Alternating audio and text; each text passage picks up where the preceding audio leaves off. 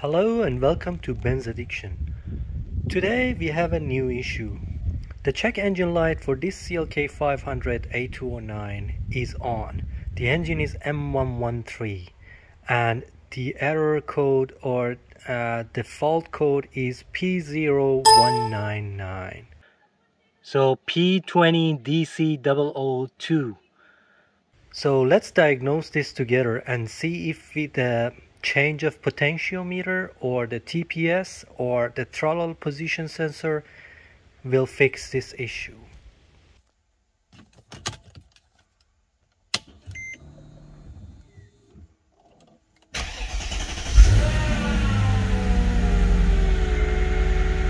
So as you can see here is the problem. The check engine light is on and if I press on gas pedal nothing happens. So the car only idles. So let's fix this together. Okay what we need to take off the gas or accelerator pedal is this uh, cap over here. It's a plastic cap that uh, you need to remove in order to access this number 10 mil uh, hex bolt. So I'm already undoing this. And there should be only one bolt. So it's so easy.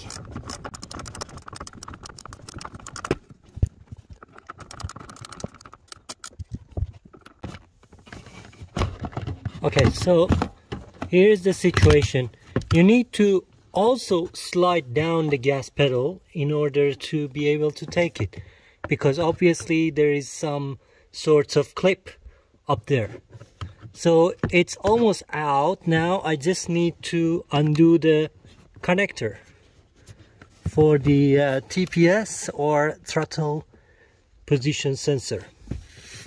So we can take it off. And that was easy so what actually holds the gas pedal in place is uh, this little plastic over here and that 10 millimeter uh, bolt that you would remove from here.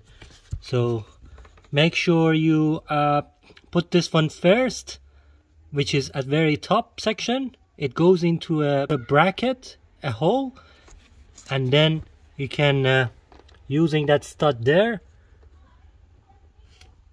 put back the 10 millimeter nut. But if you need the part number, it's A203 300 0704. So pretty much this is a W03 gas pedal. And uh, I think there should be all the same, but you need to check that for yourself. So looking at my connector, I can't see any anything wrong here, just the corrosion or anything like that. It seems to be in a good shape. So I don't think there is any issue over here with the corrosion of the connector.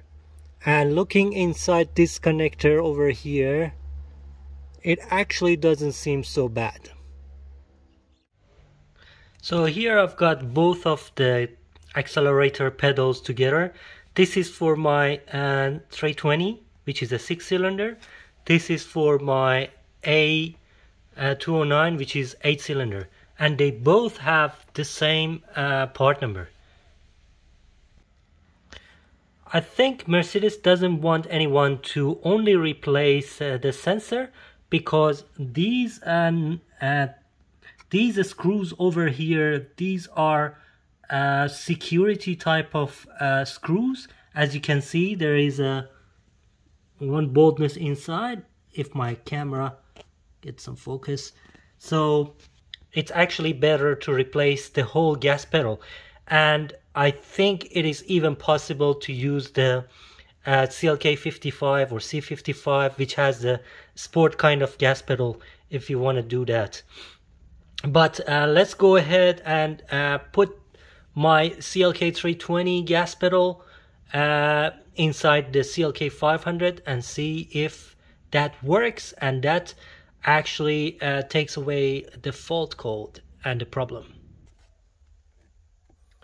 Okay, I partially installed back the gas pedal from my 320 in uh, my CLK 500. Okay, let's check to see if the light will disappear by itself or do I need to reset the codes and clear the codes.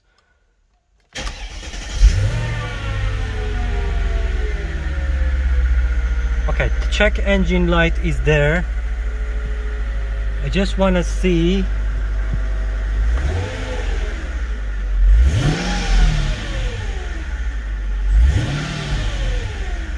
Okay the first time I was able to rev up this engine. So it actually works. Uh, the reason why I have uh, a check engine light over there is my left hand side oxygen sensor as well. So I'm pretty sure this is going to work. Okay here's the situation. So I just scanned the car with the uh, CLK320 gas pedal which is the new one and it it has the uh, fault code stored as you can see. And if I press F3 here